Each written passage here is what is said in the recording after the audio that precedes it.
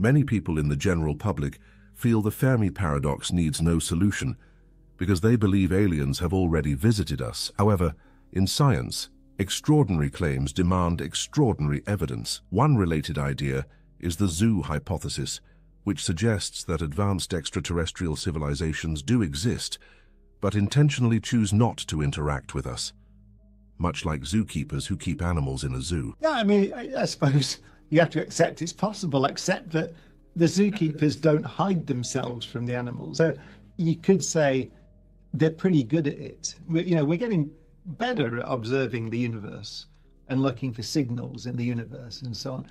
So they're doing a really good job if they're sort of tracking our detection capability and continually avoiding. Uh, you know. Recent estimates using the Drake equation suggest that the Milky Way may host very few detectable civilizations, potentially only one. The human race. While earlier estimates were much more optimistic, this updated perspective takes into account the possibility that civilizations may not last long enough to become a spacefaring civilization.